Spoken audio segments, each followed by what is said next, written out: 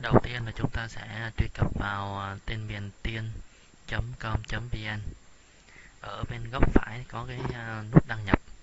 Thì ở đây chúng ta click vào. Ở cái phần à, đăng nhập thì chúng ta sẽ, ô, đầu tiên chúng ta sẽ nhập ừ, mã số của mình vào. Sau khi nhập mã số mình vào thì chúng ta tiến hành nhập cái phần password, mặc định là năm số cuối của mã số. Sau đó thì chúng ta nhấn nút đồng ý vào phần giao diện của trang thông tin cá nhân thì ở đây là có những cái menu là trang thông tin cá nhân bao gồm là thay hình đại diện avatar thay đổi mật khẩu. Thì à, sau đó thì có các à, menu như là sơ đồ hệ thống. Thì ở đây sẽ à, cho chúng ta thấy được cái sơ đồ mạng lưới của mình. Thứ hai là cái lịch sử mua hàng.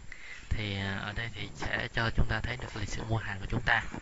Tiếp theo là menu à, hoa hồng và tiền thưởng thì ở đây sẽ cho ta thấy được uh, cái uh, tiền lịch sử nhà hoa hồng của chúng ta.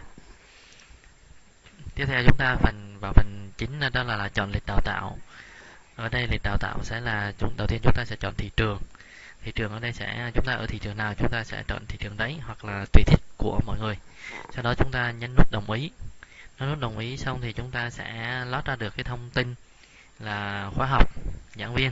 À, chúng ta hỏi là chúng ta có muốn đồng đăng ký hay không? Sau đó thì chúng ta vào cái lịch học của mình. Lịch học của mình này thì bao gồm những cái lịch học mà mình đăng ký bao gồm mà ngày đăng ký và ngày học. Sau đó là chúng ta vào phần kiểm tra. Ở đây thì có 20 câu hỏi. À, nếu mà chúng ta làm đúng trên 16 trên 20 câu thì chúng ta sẽ đạt. Và sau đó sẽ công ty sẽ cấp uh, chứng chỉ uh, đào tạo cơ bản cho chúng ta. Nếu mà chúng ta mà làm à, không đúng 16 trên 20 câu á, thì đồng nghĩa với chúng ta là chưa đạt.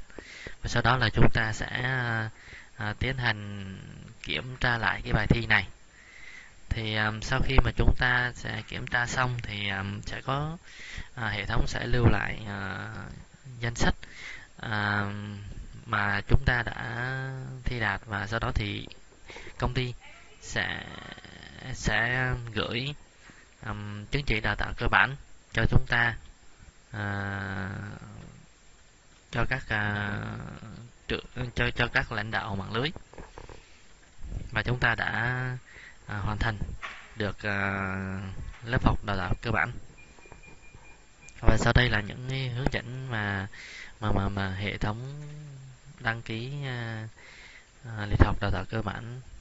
Thì à, nếu mà có vấn đề thắc mắc gì thì à, à, mời, cái mời toàn thể nhà phân phối sẽ à, liên hệ với công ty để chúng ta à, được nắm rõ hơn. Xin chào và hẹn gặp lại.